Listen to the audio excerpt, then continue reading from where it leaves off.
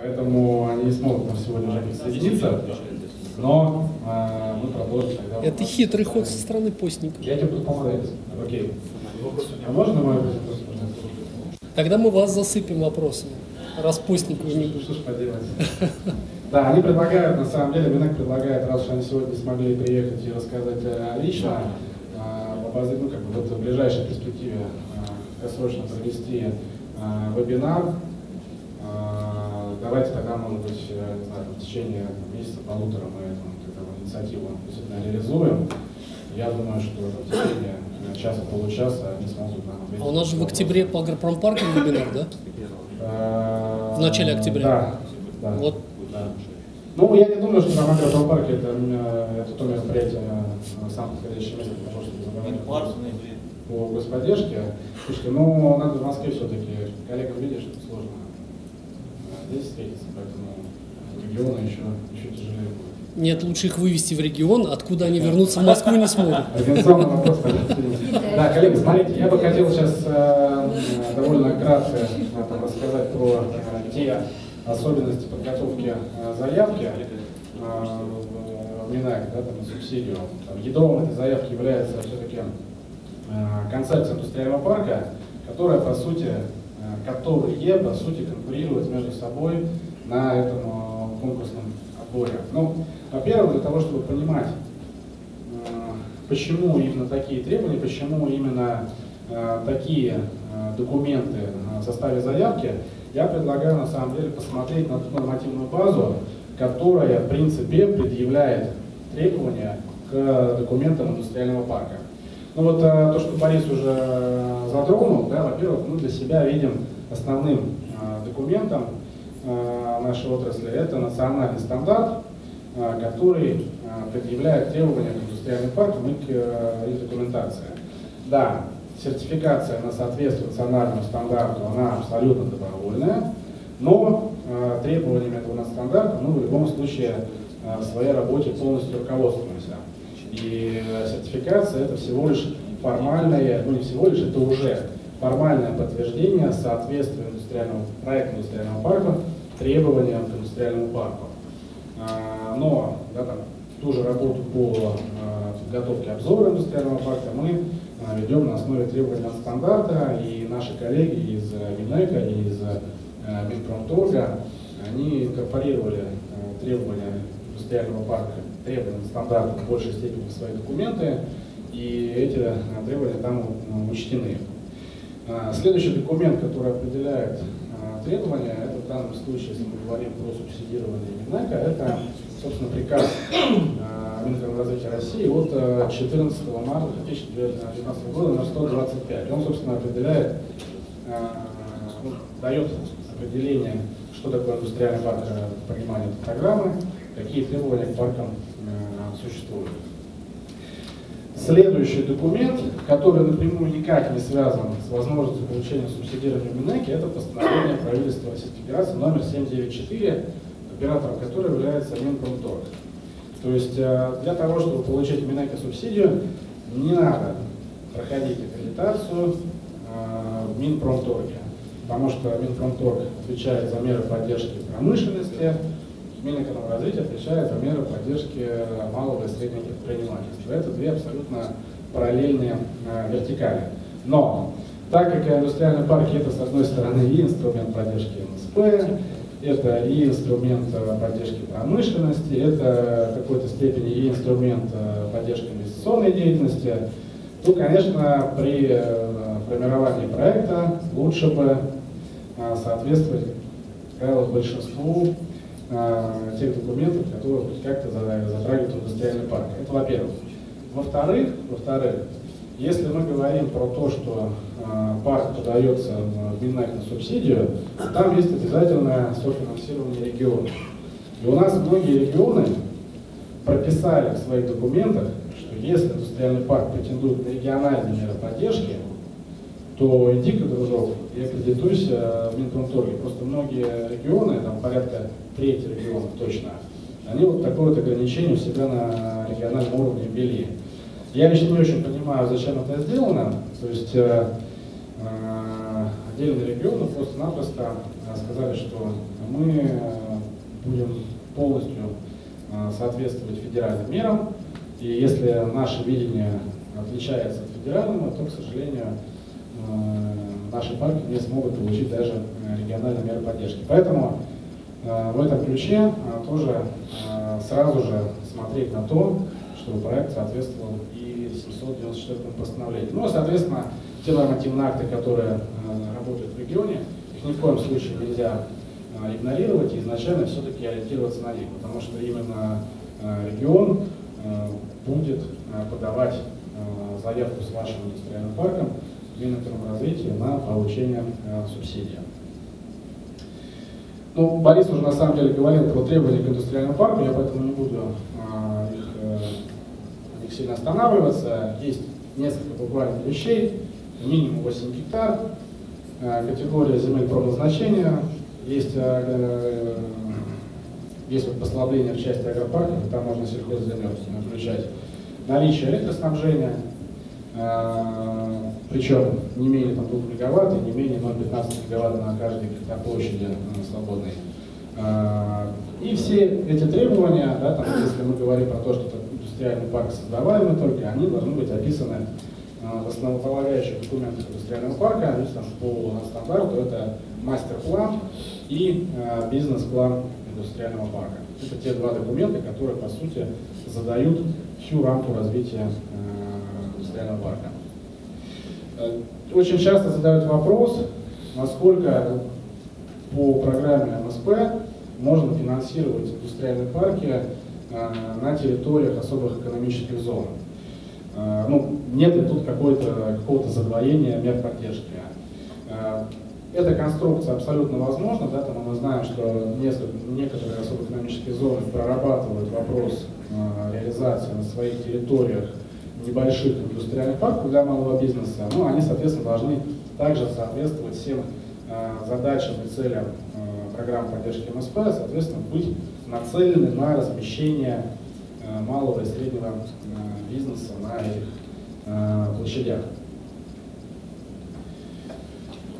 Дальше же переходим, собственно, к документам индустриального парка. Я уже сказал, что мы, ну, в принципе, это ядром заявки является концепция индустриального парка. Концепция индустриального парка в нашем понимании это не какой-то единый документ. То есть концепция индустриального парка это она, она записана, она зафиксирована в целом ряде документов. Да, там основной документ это бизнес-план.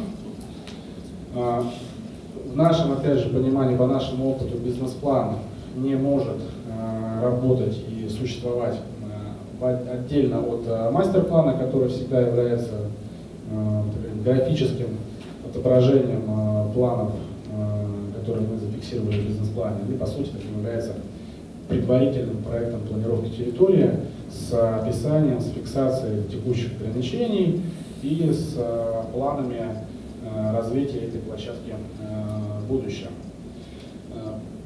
Мы обязательно должны э, оцифровать все наши планы, какие-то затраты, э, доходы, э, налоги, инвестиции, cash flow, потоки в финансовой модели. Это тоже один из обязательных документов, который должен быть обязательно индустриального парка. Ну и, соответственно, финансовая модель должна быть все-таки рабочей. То есть, если мы говорим про то, что есть финансовая модель, она убыточная, ну нет, она должна все-таки работать э, в разных сценариях, сценариях господдержки, без господдержки. Я, в принципе, считаю, что парк, э, который не летает без господдержки, ну, его поддерживать не имеет смысла. Скорее всего, из господдержки вряд ли полетит. Вот. И, э, соответственно, презентация индустриального парка – это тот документ, который позволяет множеству экспертов, которые будут рассматривать ваш проект, действительно вытащить оттуда основные моменты. Да, там, но мы, как эксперты, Э, там, работа с индустриальным парком для нас это повседневная работа, но на самом деле порядка 10 экспертов э, каждый год занимаются анализом заявок, и далеко не все из них связаны с э, тем, что они занимаются в индустриальном парке. Там есть фонд развития городов, фонд развития промышленности и другие институты развития, у которых на самом деле есть, коллеги, есть своя основная работы, и им просто невозможно будет по времени высмотреть все Э, документы, которые подали э, индустриальные парки. И они будут оценивать вас по тем э, документам, правкам, да, которые они смогут э, найти. Поэтому я очень рекомендую. Этого документа нет на самом деле в обязательных заявках, но я каждому из вас рекомендую этот документ обязательно делать. Потому что единственный способ показать все свои преимущества э, это зафиксировать их э, в ярких слайдах и не заставлять э, людей, которые будут смотреть ваши документы, выискивать ваши преимущества э, бумагой. Потому что человек, который которого попросили оценить вашу заявку, он, а, если найдет, хорошо, если не найдет, он специально не будет выискивать, в чем вы хороши, в чем вы лучше э. Ну, соответственно, вот э, примерно так это выглядит, выглядит структура документа, то есть это вот э, вопрос про концепцию, да, там мы концепцию еще должны будем добавить пояснительную записку про статус развития индустриального парка, про состояние развития э, МСП э, в регионе. Это вот, по сути, такие три предпроектных э, документа э, индустриального парка. Дальше очень важно блоком документов э, является э, проектно-сметная документация. Борис уже говорил, что если все это есть, но нету вот этого, или нету госэкспертизы, да, там, ну, если нет ПСД, ну, все, обнуляется и все. То есть э, никто, ни, никто не готов рассматривать, финансировать э, проекты, у которых нету проектно-сметной документации. Если государство говорит, что мы готовы поддержать э, финансово какой-то проект, то этот проект должен быть уже просчитан, проработан, и э, должна быть перспектива довольно быстрого э, запуска этого проекта. Э, каждый год это возникают вопросы, а что если мы придем, у нас все есть, ТСД есть, там все документы официальные идем, подготовим, мы концепцию отлично написали, но мы не успеваем пройти госэкспертизу. Ну, формально, если вы все читали документы, формально, в принципе, э, госэкспертиза нужна, на самом деле, к моменту заключения соглашения о софинансировании. Но так как э, у нас э, зачастую мы там действуем в каких-то меняющихся условиях, ну, допустим, в этом году те проекты, которые не успели да, принести к определенной дате положительное заключение госэкспертизы, они не были отобраны, потому что в этом году немножко Э, изменились правила э, выделения денег на программу. И чтобы их в принципе выделили, нужно было сначала провести отбор, и потом уже отобранные проекты подать в проектный комитет нацпроекта, чтобы на следующий год перераспределили деньги. Ну и, соответственно, проектный комитет не был готов рассматривать, утверждать суммы, если под ними не было подложено проект госэкспертизы. Соответственно, все там 15 июля или 1 августа те, кто успел принести госэкспертизу, они в то число 10 проектов попали. Все остальные, к сожалению, на следующий год. Поэтому наша рекомендация закладывать в срок подготовки документов обязательно госэкспертизу. То есть не ориентироваться на то, что все, мы там концепцию нарисуем, ПСД запроектируем, подадимся и будем получать госэкспертизу. А, лучше иметь ее заранее. Ну, соответственно, вот так вот примерно мы видим график подготовки документов. Мы его нарисовали с учетом того, что мы начинаем, у нас получается, у всех начинается сезон подготовки заявок на следующий год. Реально вот э, мы здесь зафиксировали очень, очень оптимистичные сроки подготовки документов. То есть если мы начинаем в октябре разрабатывать э, бизнес-план с мастер-планом, у нас на это есть 2,5-3 месяца, чтобы где-то к середине декабря, точнее так, где-то к концу ноября зафиксировать основные решения. Коллеги, я предлагаю вам не фотографировать, сразу на телефоне ничего не будет видно. Мы потом, а, мы это выложим обязательно все презентации на сайт, и всем а, разошлем, сделаем рассылку презентации, вы сможете все посмотреть у на компьютере, а на телефоне потом все равно потеряется, не увидите ничего. Соответственно, где-то к концу ноября у нас есть основные решения по бизнес-плану, мастер-плану, и мы уже можем начинать финализировать нашу финансовую модель. Все, дальше Новый год. Где-то там, начиная с 20 декабря, все поздравляют друг друга с Новым годом, все, сезон деловой заканчивается. И дальше где-то до середины января э, полностью все выпадают. Соответственно, у нас есть один месяц, да, с учетом тех же праздников, чтобы э, на основании там, нашего бизнес-плана, мастер-плана сделать ТЗ на проектирование и, собственно, а, законтрактоваться с разработчиком PSD, если этого мы не сделали заранее, параллельно. Да? Где-то оптимистично, сразу же после выходных начинаем разрабатывать PSD.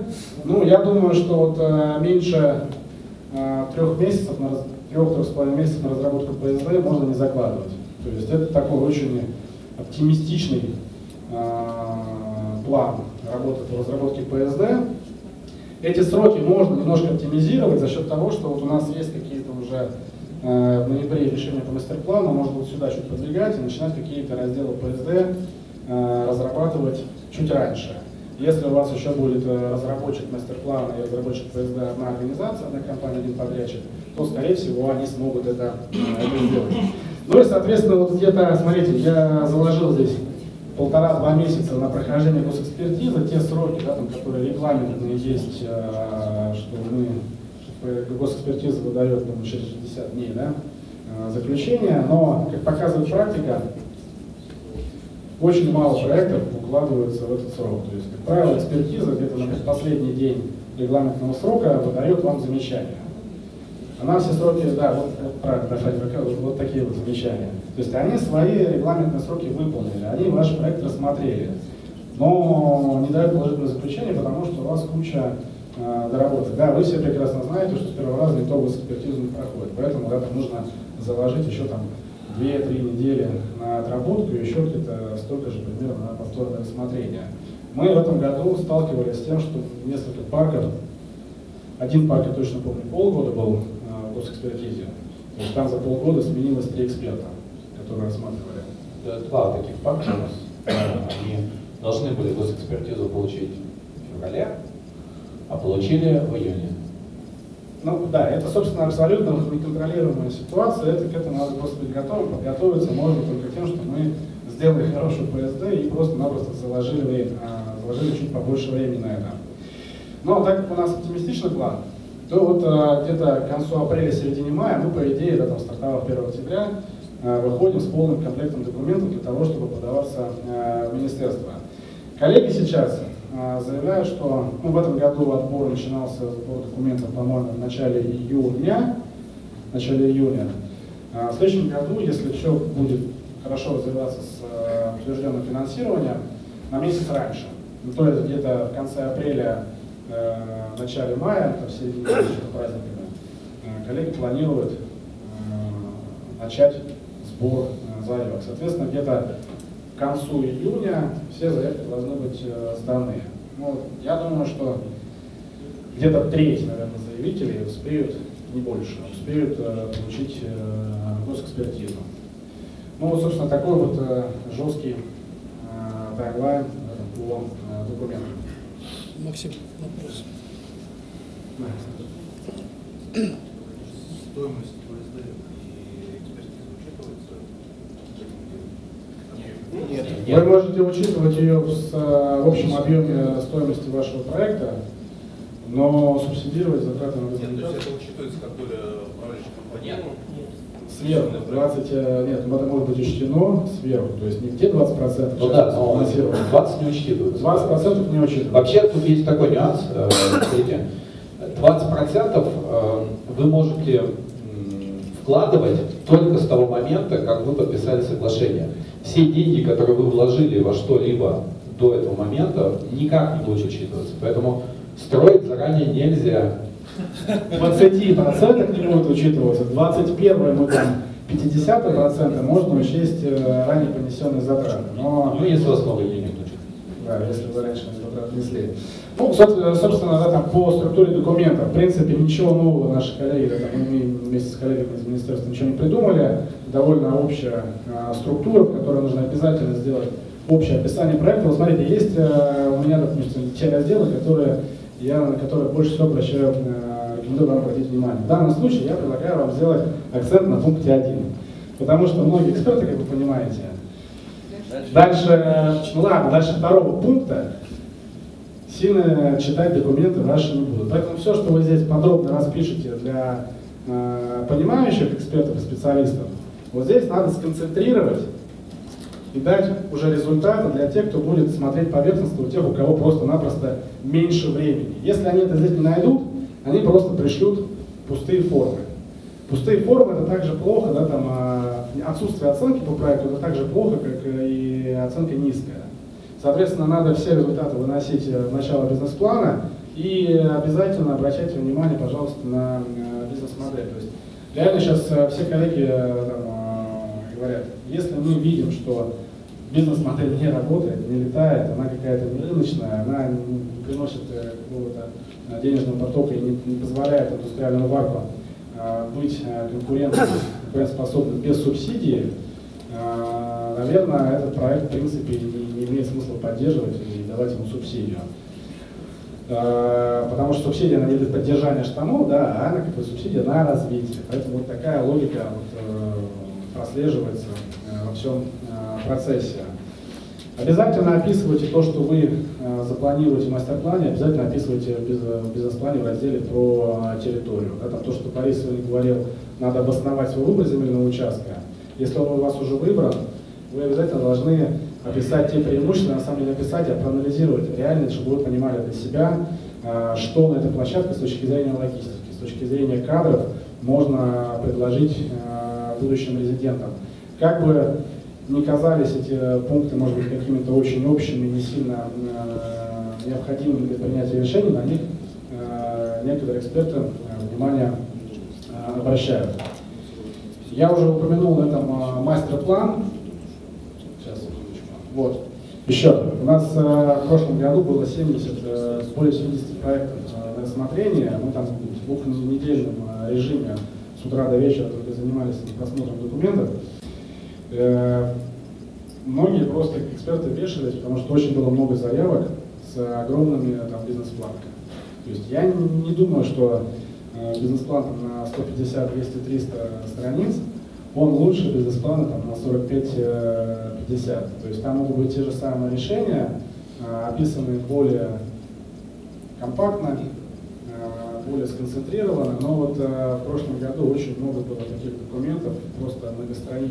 многосотстраничные документы э, с научным обоснованием э, каждой, э, каждой вы- выкладки.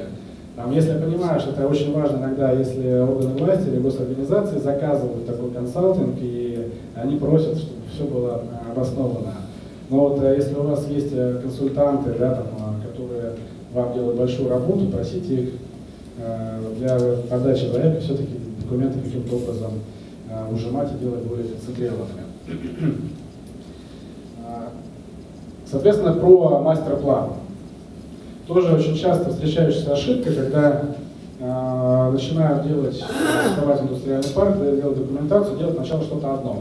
Сначала бизнес-план пытаются посчитать, э, потом накидать его в мастер-плане, как это будет работать. Либо наоборот, сначала делаем, делаем мастер-план, а потом пытаемся оценить. Это две вещи, которые всегда живут параллельно. Ну, невозможно там, э, невозможно накидать э,